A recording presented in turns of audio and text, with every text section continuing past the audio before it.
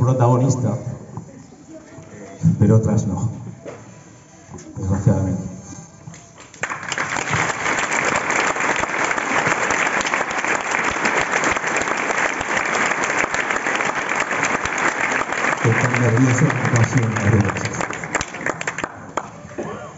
eh, hemos hecho un texto que queríamos leer. Eh, en nombre de los tres, ¿no? Y que yo le he llamado simplemente que esto ya no será nunca más un secreto.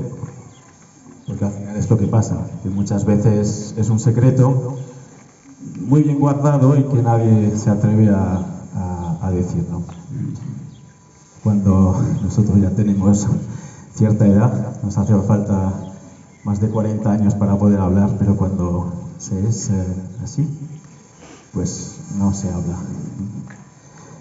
Y qué desgracia, qué desgracia estar aquí hoy, delante de todos vosotros.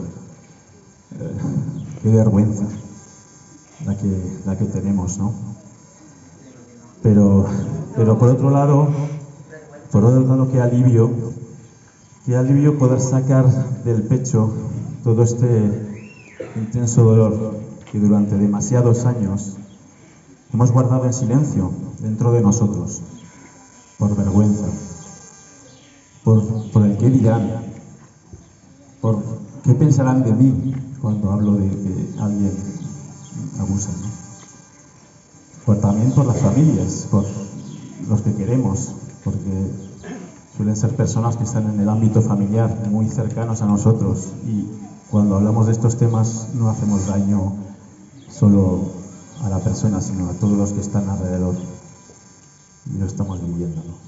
Y por eso estamos aquí hoy y, yo, bueno, en nombre de los tres solo quiero daros las gracias de que haya tanta gente. Esto es muy emocionante y daros gracias a todos.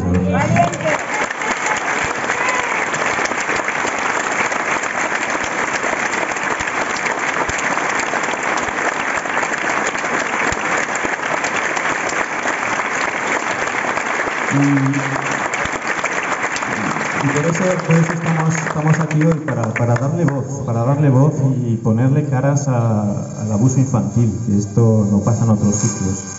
Aquí tenéis caras que, que han sufrido este tipo de abusos.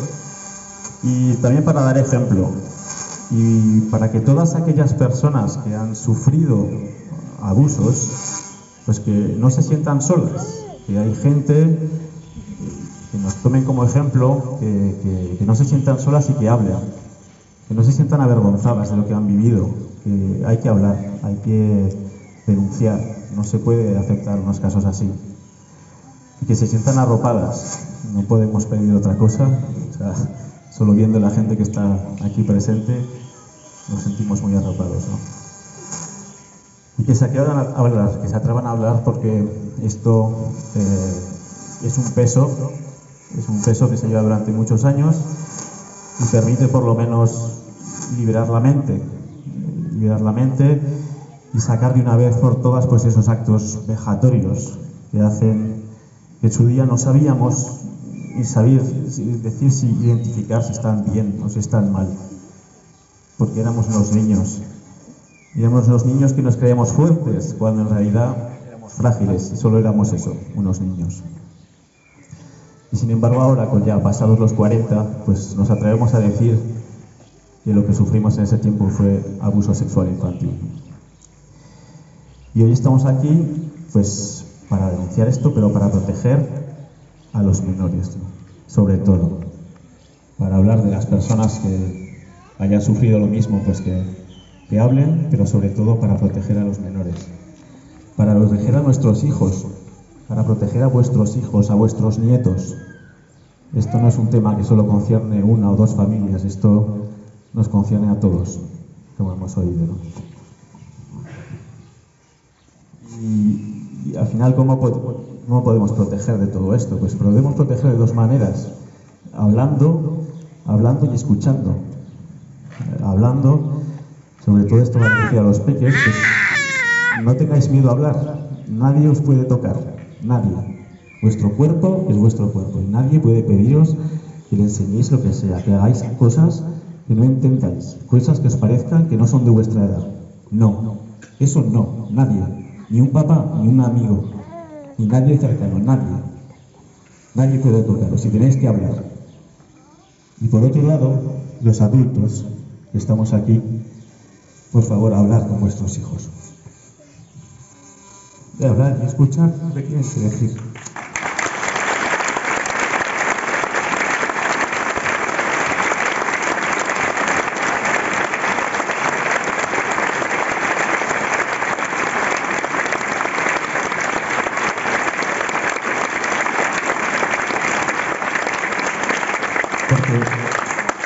si, para vosotros es difícil escucharlo, para ellos todavía va a ser más complicado hablar sobre un tema que muchas veces es tabú, que muchas veces no, no, se apetece hablar, decir que, que, alguien te ha pedido algo que te parece que no es normal.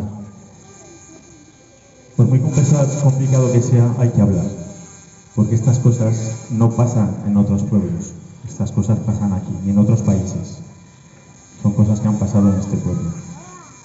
Y muchas veces, como hemos escuchado en el texto, eh, son gente muy cercana, gente que apreciamos y de las cuales no, no, dudamos, pero si no se denuncia, nadie sabe que estas cosas pasan. Cuando se es niño, uno va descubriendo su cuerpo, la, la sexualidad, y los adultos estamos ahí para guiar, para aconsejar para apoyar en todas las dudas que un niño pueda tener durante muchos, muchos años, esos años. Hay que hablar de sexualidad, no puede ser un tabú completamente. Estas cosas hay que hablarlas.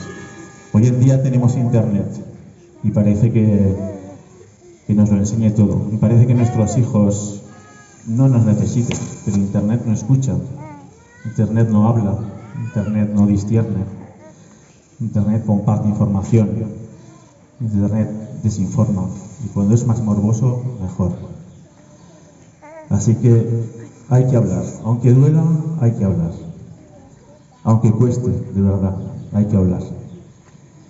Y eso es lo que quería decir, pues eso, por un, abu por un pueblo sin más abusos sexuales, no más. No más. No más.